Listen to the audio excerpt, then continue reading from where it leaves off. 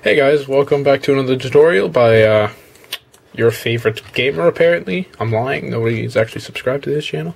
Uh, uh, today we are going to be doing what I like to call a pain in the ass. We're going to be doing tasks. We're going to be doing task modules with Arma 3.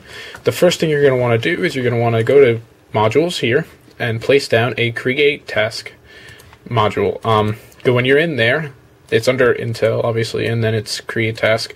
When you're there, you're going to want to uh, fill these three right here. These three are the most important. So, unique tasks, name your tasks, title, and description. Oh, wrong description.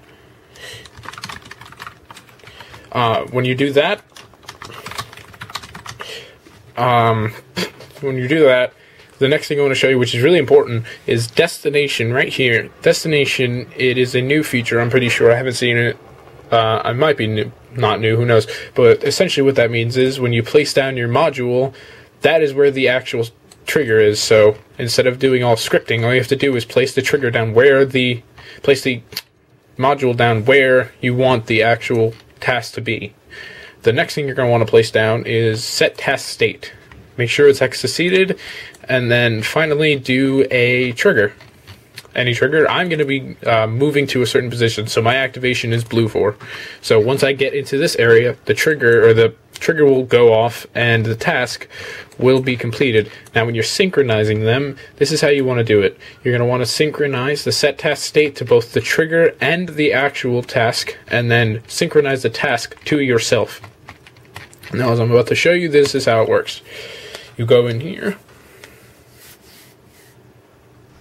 right? All right, now as on the map, I'll show you. There's the task. There's the task once again. Set map. It's okay. It's over there. So it's under 12 meters there. Let's take a truck. Now, once I enter that zone, you'll see the task is going to be complete. So let's drive there.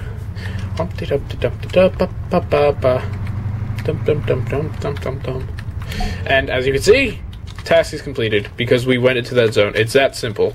You could do this for many other things, including killing people, you know, clearing out an area, assassinations, whatever you want to do. I'll be making more videos about this. But, um, anyways, if you think this was helpful, you know, like, subscribe, blah, blah, blah, blah, blah.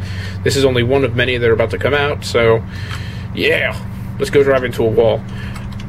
I will see all of you later. Oh.